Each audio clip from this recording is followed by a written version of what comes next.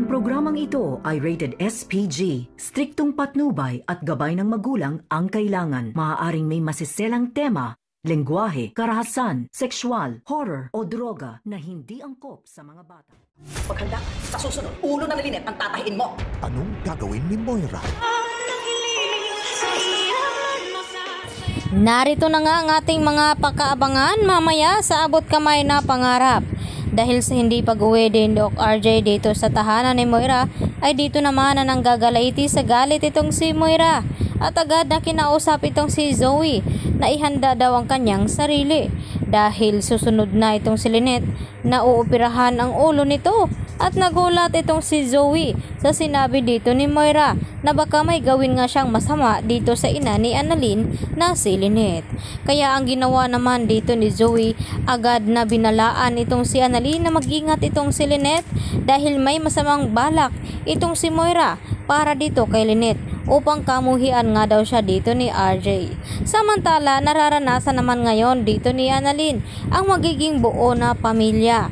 At dahil hindi nga muna pinapauwi ni Annalyn itong kanyang ama at doon nga natulog at sabi ni Annalyn na hayaan muna ni Lynette itong si RJ upang makapagpahinga at kinaumagahan ay nagising nga itong si RJ nakapiling niya nga itong si Annalyn at Lynette at sabay pa silang nag-aalmusal at dito naman na nagbibiro itong si Chang Susan na tila may mabubuo na nga na pag-ibig muli dito kina Lynette at RJ na kung bakit ay pinagtagpo muli daw itong sina Lynette at RJ subalit hindi naman tinadhana. At ang tanging sagot naman dito ni Lynette kay Chang Susan na si Lord na nga daw ang nakakaalam kung ano ang talagang plano niya dahil alam naman natin na may uh, kasalukuyang nobyo itong si Lynette at ito na nga ang si Carlos.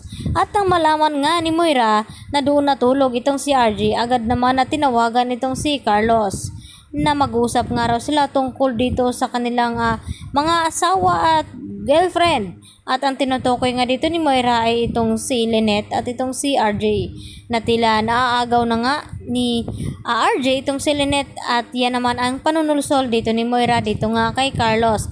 At dahil dito, sinabi ni Moira kay Carlos na kinakailangan daw may gawin sila upang matigil na nga ang mga uh, kahibangan dito ni Lynette at RJ sa isa't isa at baka malaman na lamang nila sa isang araw nagugulatin na lamang sila na itong si Lynette ay magkasama na sila ni RJ at mas pipiliin ni RJ na makapiling itong si Lynette. At dito naman na alarma itong si Carlos Benitez na hindi niya hahayaan na mangyari iyon. Dahil ngayon pa lamang ay mahal na mahal na nga niya itong si Lynette at nangako naman itong si Lynette dito kay Carlos na hindi-hindi nga daw niya sisirain ang tiwala at pagmamahal na ibinigay nga daw ni Carlos sa kanya.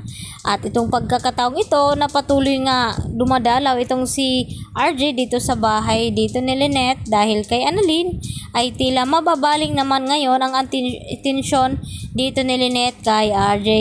Kaya manumbalik nga ba ang muli nilang pag-ibig sa isa't isa?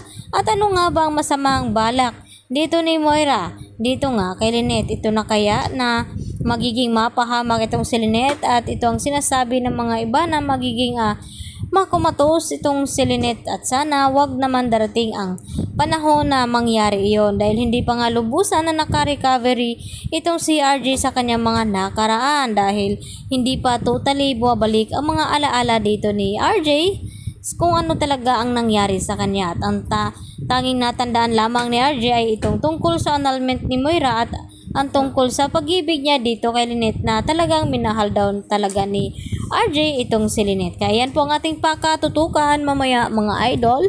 Dito lamang yan sa abot kamay na pangarap at huwag niyo po sanang kalimutan i-like ang video na ito. Yan lang po at marami pong salamat.